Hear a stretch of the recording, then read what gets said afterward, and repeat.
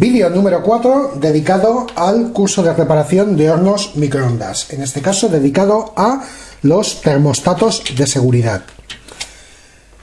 Los termostatos de seguridad que tenemos en el horno microondas tienen la función de protegernos ante un sobrecalentamiento que podamos tener en la cámara de cocción, en el magnetrón o en la, cámara, en la parte inferior, en la parte del transformador y la parte inferior de la cámara de cocción. Podéis encontraros hornos microondas que tengan, como en este caso, solamente un termostato de protección, ya que es un horno muy básico. Podemos encontrarnos hornos que tengan dos y hasta tres termostatos de protección. El segundo lo tendríais en la parte superior del magnetrón.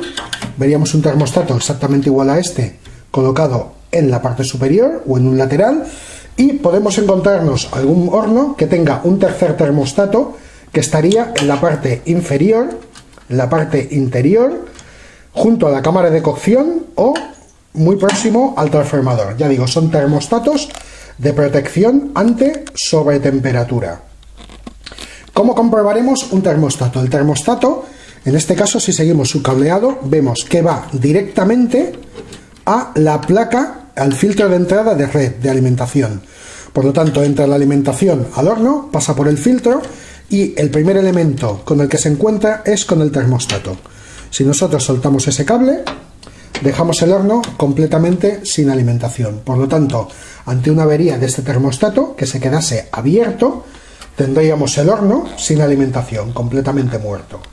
Vamos a comprobar este termostato. Para comprobarlo, situaremos el polímetro en la escala de medida de ohmios, la escala más baja, la de 200 ohmios o la de pitido. En este caso este polímetro, pitido y 200 ohmios, es lo mismo. Ponemos una, de las puntas del polímetro, hemos sacado el conector de entrada de alimentación, vamos a comprobar el termostato, ponemos una de las puntas a un terminal y tocamos el otro terminal. Podemos sacar el conector o no importaría sacarlo.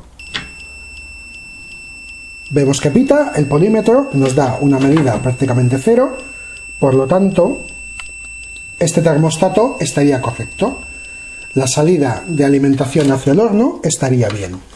Lo mismo que hacemos con este, pues haríamos con el termostato que está en la parte superior del magnetrón y el otro que estaría en la parte inferior.